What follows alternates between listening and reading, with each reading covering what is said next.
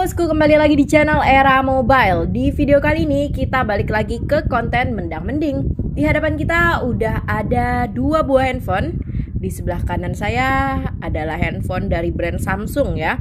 Dengan seri Samsung A15 4G Dan di sebelah kiri saya adalah si handphone keluaran terbaru dari Vivo dari series V-nya yaitu Vivo V40 Lite 4G. Dan di video kali ini kita bakalan bandingin kira-kira mending lebih pilih Samsung A15 5G atau Vivo V40 Lite 4G. Jadi simak video ini sampai habis ya. Kalau dari segi desainnya sih ya jelas beda. Di sini untuk bagian backdoornya juga Samsung A15 4G ini dia punya finishing glossy dengan glass design walaupun bagian belakangnya ini masih pakai plastik ya bukan kaca asli. Dan untuk si finishing dari backdoor V40 Lite 4G ini dia punya finishing matte dengan gradasi warna ya. Nah kalian bisa lihat di sini. Dia agak pink-pink gitu, pink keunguan ya gradasinya. Dan dia nggak semerta polos kayak Samsung A15 4G tadi. Dia ada coraknya ya bosku. Nah, kalian lihat ini kayak cangkang, cangkang kerang. Nah nggak sih lihat kayak cangkang kerang mutiara itu dia teksturnya tuh kayak gini. Dan dari segi kamera, di sini emang sih sekilas mirip desainnya itu sama-sama berjajar ke bawah untuk uh, modul kameranya. Di sini Samsung A15 4G HD lebih simple dan bulatan kameranya lebih kecil ya. Di sini jelas ada tiga buah kamera bagian belakang dan satu buah lampu flash. Sedangkan untuk kamera dari V40 Lite 4G ini dia terdapat dua buah kamera dan di bagian paling bawahnya itu adalah lingkaran aura light-nya serta di sampingnya juga terdapat lampu flash biasa ya. Nah, kalian bisa lihat dulu untuk detail bagian belakangnya di sini dan di bagian bawahnya juga sama-sama terdapat logo brand masing-masing ya. Di samping kanannya sama-sama terdapat tombol volume turun naik dan tombol power. Di sini untuk powernya Samsung A15 4G ini masih support side fingerprint ya. Sedangkan untuk tombol V40 4G ini 40 Lite 4G ini dia kayak tombol biasa aja ya nggak ada fitur sidik jarinya dan lanjut ke bagian samping kirinya. Di sini untuk V40 Lite 4G dia polosan aja ya nggak ada apa-apa. Sedangkan untuk si Samsung A15 4G di sini ada lubang SIM injektor dan tempat SIM cardnya. Dan lagi-lagi di framenya ini terdapat perbedaan ya. Untuk frame samping dari Samsung A15 4G ini dia punya finishing yang matte jadi yang di tangan saya ini adalah warna lemon ya. Dan warnanya itu matching ya sama si bagian backdoor Samsung A15 4G ini.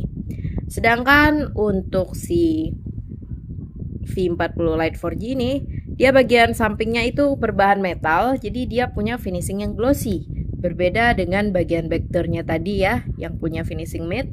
Dan di sini warnanya juga matching ya dengan bagian backdoornya warna ungu. Terus untuk ketebalannya sendiri kalian pasti ketara sih. Di sini untuk ketebalan Samsung A15 4G ini di 8,4 mm dan untuk V40 Lite 4G ini di 7,79 mm. Kalau dilihat mata juga berasa sih, kelihatan kalau Samsung A15 4G ini dia lebih tebal dan untuk sensasi genggamannya ini kerasa sih. Kalau Samsung A15 4G ini lumayan kurang ringkas ya karena ketebalan gitu dibandingkan V40 Lite 4G ini. Terus lanjut kita ke bagian atasnya. Di sini mereka sama-sama terdapat lubang mikrofon dan di bagian bawahnya terdapat lubang speaker, lubang USB Type-C, lubang mikrofon dan terdapat port audio jack ya untuk Samsung A15 4G. Sedangkan untuk bagian bawah V40 Lite 4G ini dia nggak punya lubang port audio jack, tapi dia di bagian bawahnya terdapat lubang SIM injektor dan tempat SIM card ya. Jadi berbeda SIM card Samsung A15 4G tadi di bagian samping, sedangkan tempat SIM card si Vivo V40 Lite 4G ini di bagian bawah. Jadi gitu ya. Jadi untuk kelengkapan portnya itu si Vivo V40 Lite 4G ini nggak punya lagi lubang audio jack ya. Lanjut dari body udah kita ke bagian layarnya.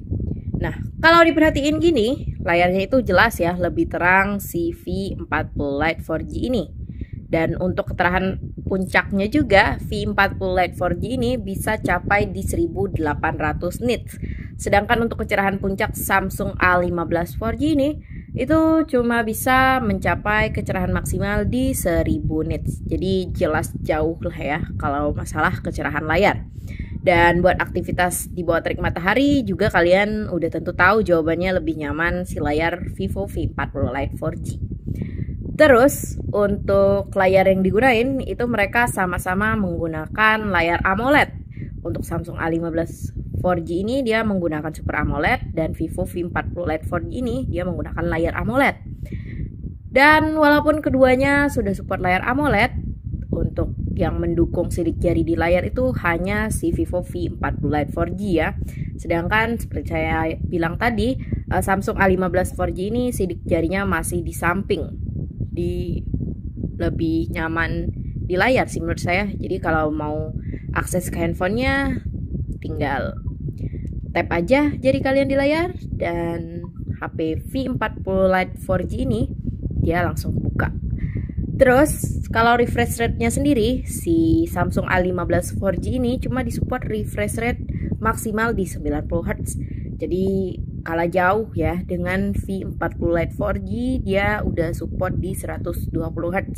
Tentunya lebih nyaman dan ngebut soal scrolling dan buat aktivitas multitasking juga pastinya lebih support di Vivo V40 Lite 4G. Dan ukuran layarnya juga. Di sini kalian bisa lihat ya, pasti udah ketara ya sama kamera depannya di sini untuk tampilan Samsung A15 4G dia masih water drop, sedangkan untuk V40 Lite 4G ini dia sudah punch hole dan ukuran layarnya lebih besar di 6,67 inci untuk Vivo V40 Lite 4G dan 6,5 inci untuk Samsung A15 4G. Hmm. Jadi bisa kalian bandingin sendiri lah ya untuk bezelnya ketara banget lebih tipisan yang mana. Lanjut kita udah dari layar ke kamera. Jadi di sini untuk kamera utama Samsung A15 4G adalah 50 megapiksel kamera utama dan dua kamera lainnya adalah 5 megapiksel kamera ultrawide dan 2 megapiksel kamera makro. Sedangkan untuk Vivo V40 Lite 4G itu kamera utamanya di 50 megapiksel kamera utama dengan sensor GMS dan satu kamera pembantu di 2 megapiksel kamera bokeh. Dan untuk selfie kameranya, di sini Samsung A15 4G disupport dengan selfie kamera sebesar 13 megapiksel, sedangkan untuk Vivo V40 Lite 4G itu disupport kamera selfie sebesar 32 megapiksel. Jadi setengah dari kamera Samsung A15 eh uh, setengah dari kamera Vivo V40 Lite 4G ya untuk Samsung A15 4G. Dan di sini udah dari bagian kameranya, ini coba kita intip dulu deh ya untuk fitur kameranya. Di sini untuk kamera V40 4G ini dia ada mode malam, portrait, foto biasa, video biasa dan pilihan lainnya. Kalian bisa lihat di sini banyak lumayan banyak ya untuk pilihan sesuai kebutuhan kalian. Sedangkan untuk fitur kamera di Samsung A15 4G ini dia ada fitur mode serunya, mode portrait, foto biasa, video biasa, dan pilihan lainnya juga gak sebanyak si V40 Lite 4G. Terus kalau dari mesinnya, di sini siapa yang lebih unggul kira-kira? Untuk chipset yang digunakan Samsung A15 4G ini, dia menggunakan MediaTek Helio G99 ya. Sedangkan untuk chipset di Vivo V40 Lite 4G ini, dia menggunakan Snapdragon 685. Dan untuk masalah baterainya juga, di sini mereka punya besaran baterai yang sama, tapi punya kecepatan pengecasan yang berbeda. Untuk Samsung A15 4G itu di 25 watt flash charge maksimal, sedangkan untuk Vivo V40 Lite 4G itu super ngebut banget ya di 80 watt kalau dibandingin sama Samsung A15 4G ini. Kemudian untuk fitur sensornya di sini kedua HP tentu udah support fitur NFC. Jadi buat ganda kartu dan pengguna penggunaan NFC biasa udah pastinya support di Samsung A15 4G dan untuk NFC multifungsi juga udah support banget di Vivo V40 Lite 4G. Kemudian yang ditunggu-tunggu soal harganya.